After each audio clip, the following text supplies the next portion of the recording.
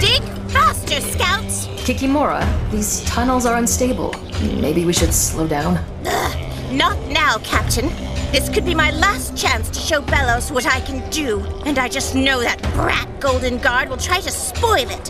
Hey, Steve! Jump over that chasm before I throw you in it!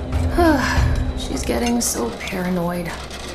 Just thought I heard an annoying voice. Are we stopping? Is it the Golden Guard? No, ma'am. This is a dangerous area. We need to move carefully. Careful takes too long. My I can smell it. I can see it. I can see. it. There's someone else in the tunnels. I bet it's him. Find him. hmm. Golden Guard. Hmm, would you look at this, Captain?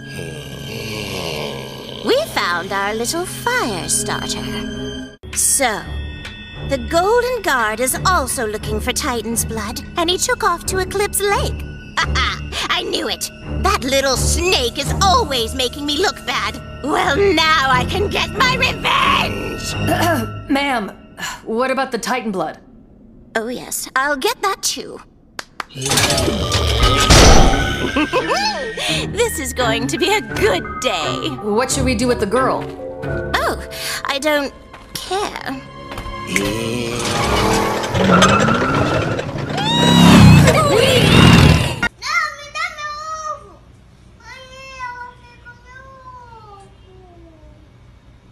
Shut up.